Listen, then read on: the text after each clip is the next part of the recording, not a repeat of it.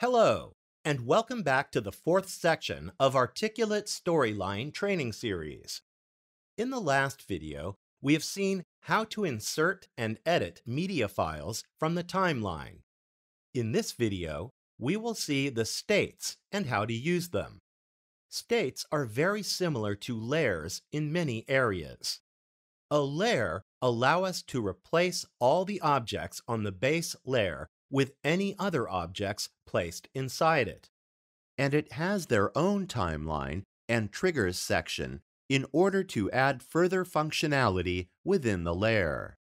Whereas the state allow us to make changes to the appearance of specific objects or replace it with any other object.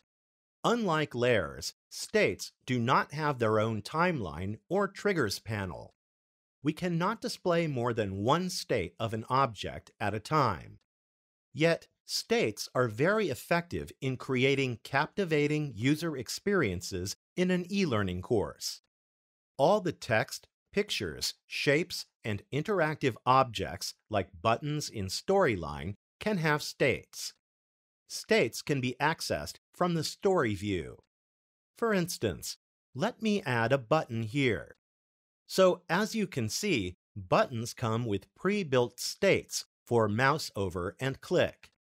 We can create cool interactive slides with combination of states and triggers. We will see how to add our own states and how to take advantage of the default states in the next video.